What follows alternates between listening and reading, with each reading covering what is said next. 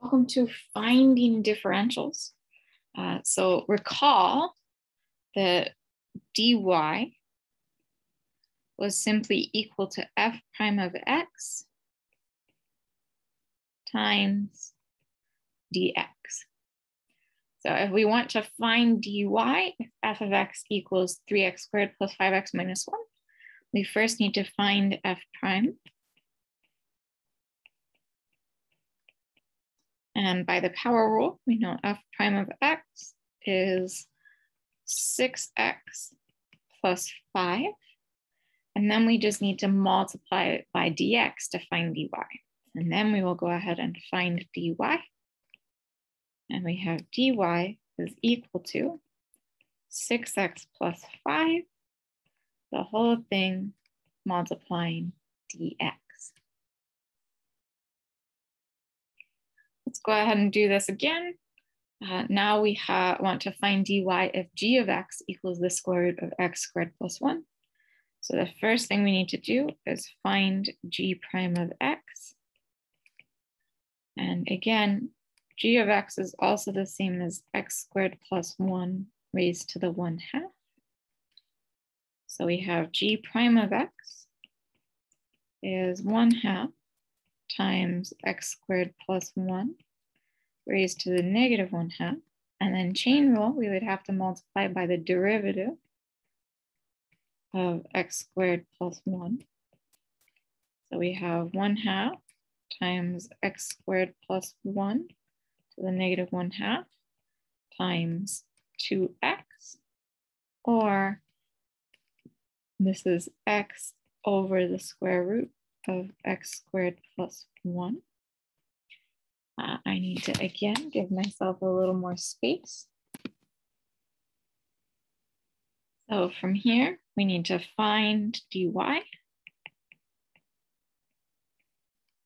And we have dy is equal to x over the square root of x squared plus 1 times dx. And then one more time, uh, let's go ahead and find dy if h of x equals cosine of 3x minus 2. So the first thing we need to do is find h prime of x. And so we get h prime of x as equal to uh, derivative of cosine is negative sine of 3x minus 2. And then chain rule, we should multiply by the derivative of 3x minus 2. And we wind up getting h prime is negative 3 sine of 3x minus 2. Once we have the derivative, we can go ahead and find dy. And we have dy is equal to negative 3 sine of 3x minus 2 times dx. So again, dx is a number we are multiplying through by dx. Um, if we divided by dx, it would look like dy dx equals the derivative. Um, but in this notation, dx is actually a value. It's not part of the derivative notation. Well, again, just what I was commenting on. Note,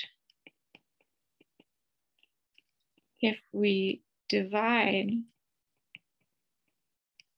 by dx, then what we get looks like derivative notation, right? It looks like dy dx notation.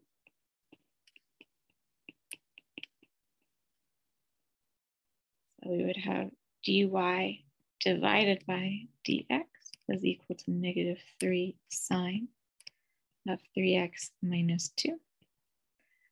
But um, we are not uh, using uh, derivative notation. dx is its own distinct uh, number as its dy. So dy and dx are not uh, sort of segments or broken pieces of dy dx.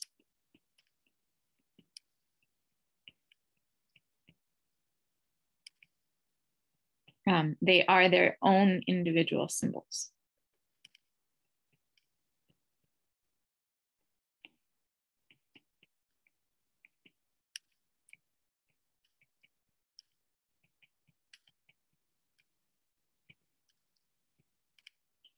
Um, separate from dy dx notation.